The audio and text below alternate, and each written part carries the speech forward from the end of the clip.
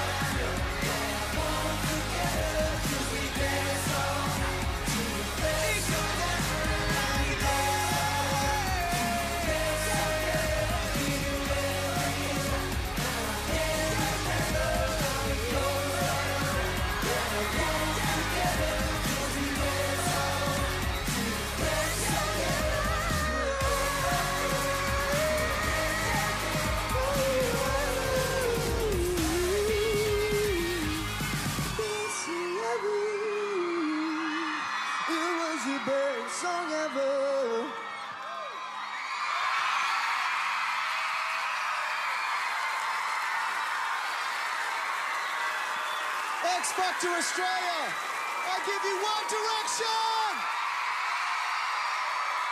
Guys, welcome. Welcome. So good to have you here. Now, Niall, you guys have been together for about three years. You've had phenomenal success around the globe. Tell me, when you auditioned for the X Factor those years ago, did you even in your wildest dreams think that this could possibly happen? No, never. Um, if you would have told us we were going to be here right now three years ago, we probably would have laughed at you because what's happened is just crazy. And uh, we're so grateful for all our fans and what they've done for us in the last three years. So, no way would we ever have imagined this. The energy in here is just amazing. I don't know how you guys do it. Uh, now, Liam, you guys, uh, you're about to wrap up the Aussie tour. What is, what has been the craziest thing that you'll remember from this Australian tour? To be honest with you, there just hasn't been a bad night. The crowd's been absolutely incredible. Even here tonight as well, the crowds have been on another level. So just thank you so much for being so supportive and amazing everywhere. All right. Uh, now, there has been a, a Fango poll. It's been running all week, and everyone wants to know what do you think the best song is, guys? I think I think kind of for everyone the best songs are the ones that kind of remind you of stuff and like takes you to that best time. And uh, I think for some people that could be our brand new single that's coming out very soon. Story of my life. Now, Dannii, how good is it to see the boys again?